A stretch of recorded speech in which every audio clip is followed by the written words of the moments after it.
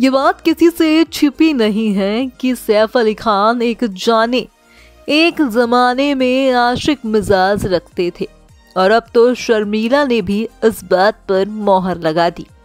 दरअसल हाल ही में माँ शर्मिला और सैफ अली खान कॉफ़ी विद करण के शो में पहुँचेंगे। बेटे की लव लाइफ से जुड़े कई दिलचस्प किस्से शर्मिला टैगोर खोलेंगी। शर्मिला ने बताया कि सैफ अली खान ने पढ़ाई करने, यूनिवर्सिटी वो नहीं गए थे। एक एयर होस्टेस को डेट करने के लिए पूछा और उसके साथ चले गए। माँ के इस खुलासे पर सैफ अली खान भी हैरान रह जाते हैं। वो बोलते हैं कि, माँ, ये बहुत पुरानी बात है और बढ़ चढ़कर आप बता रहे हो।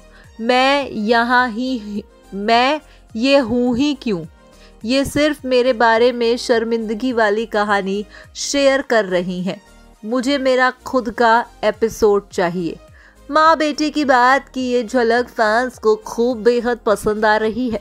दरअसल प्रोमो वीडियो पर यूज़र कमेंट अपना रिएक्शन दे रहे हैं।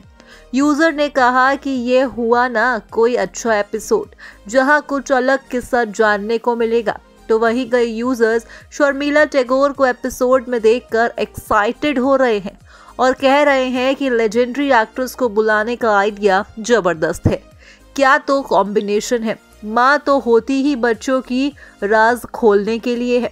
बता दें कि पिछले सीज़न में सैफ अली खान, बेटी सारा अली खान के साथ आए थे। शो पर पिता बेटी की इस जोड़ी ने खूब हवाई लूटी थी। दोनों ने लव लाइफ और फैमिली को लेकर कई बातें भी शेयर की। साथ ही सैफ ने बताया कि वो बेटी सारा के लिए कैसा लड़का चाहते हैं। बात कर रहे हैं छोटे नवाब सैफ अली खान की लव लाइफ की तो वो हमेशा से ही चर्चा में बनी रही। सैफ ने पहले अपने से 12 साल बड़ी एक्ट्रेस अमृता सिंह संग शादी कर ली थी। बताया जाता है कि परिवार पहले इस शादी के खिलाफ था, लेकिन धीरे धीरे सब ठीक हो गया। सैफ की पहली शादी ने खूब सुर्खियाँ बटोरी, लेकिन उतनी ही चर्चा करीना कपूर संग रिलेशन की भी हुई थी।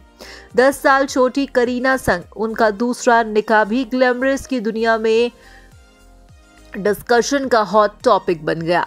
अब करण जौहर के रियलिटी शो में शर्मिला टैगोर ने भी छोटे नवाब की लव लाइफ से जुड़े कुछ और ऐसे मज़ेदार किस्से का खुलासा किया है, जिसे देखने के बाद फैंस और एक्साइटेड होते भी दिखाई देंगे।